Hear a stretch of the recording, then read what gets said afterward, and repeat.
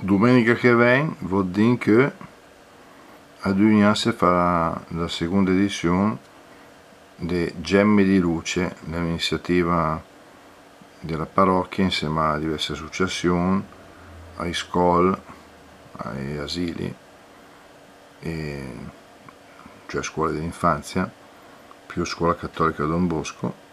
Questo è il programma, si può leggere ecco e come l'anno passato le um, una mostra diciamo una un'iniziativa che, che la presenta diverse associazioni tutte associazioni di volontariato sociale che raccoglieranno dei fondi per loro ma anche per dare poi un'offerta per le iniziative della Caritas cittadina, che patrocina il Comune, l'Unità Pastorale San Paolo VI ha preso l'iniziativa con l'aiuto appunto di altre associazioni. Ecco, se vuoi fare un giretto, rispetto. Ciao a tutti!